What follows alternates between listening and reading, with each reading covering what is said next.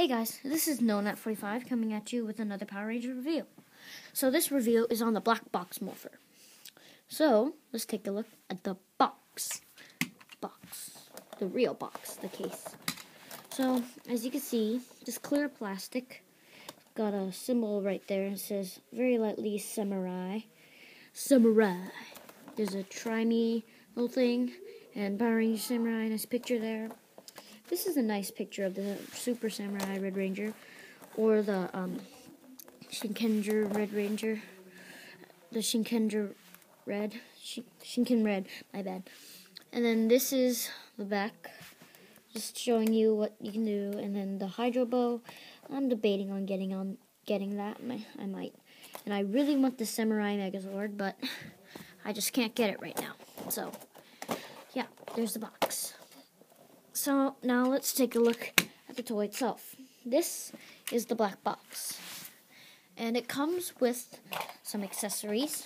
Right now I put my disc here from the spin sword in it.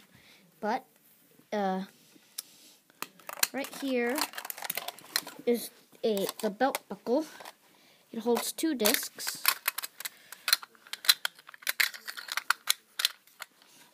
One, two. So these are the two discs that it comes with. Pretty nice. You can also attach it to the spin sword. Uh, just a sticker and hollow back plastic. And yeah.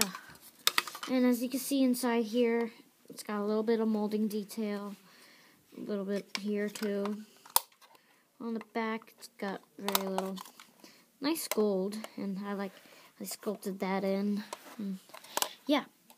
Alright, so this is the black box itself. Pretty nice looking.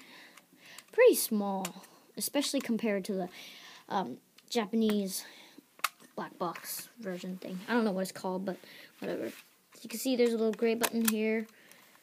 I'll show you. It changes that.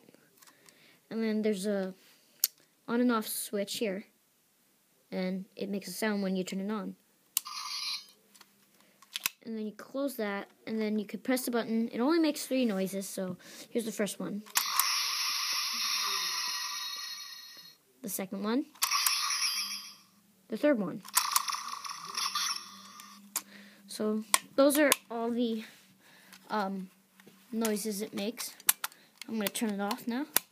So what you can do with this is you could stick the disc in, but I sort of wish that it had light up gimmick it's, instead of just, you know, showing animation here, but whatever. And it just twists the disc. But yeah, nothing much about that.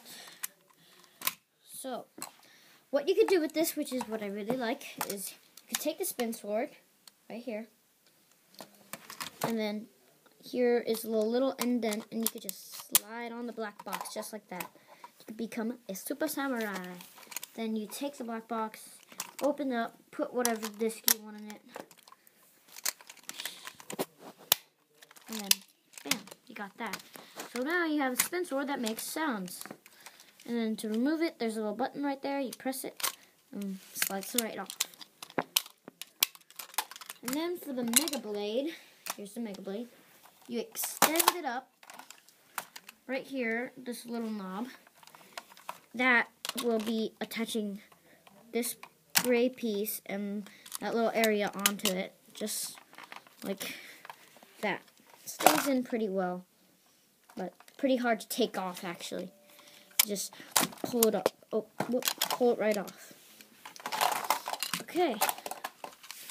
And nice sculpting. Nice gold paint. I, I like the gold paint. But yeah, there's nothing really much about it. But if you want something to play with and something fun, then I guess you can get this. And if you're a Power Rangers fan, then definitely get this. That's why I got it because I'm a Power Rangers fan.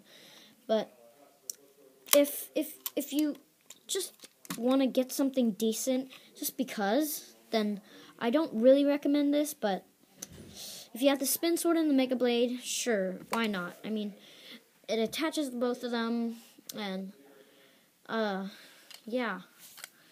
So all right i think i'm done. See you guys.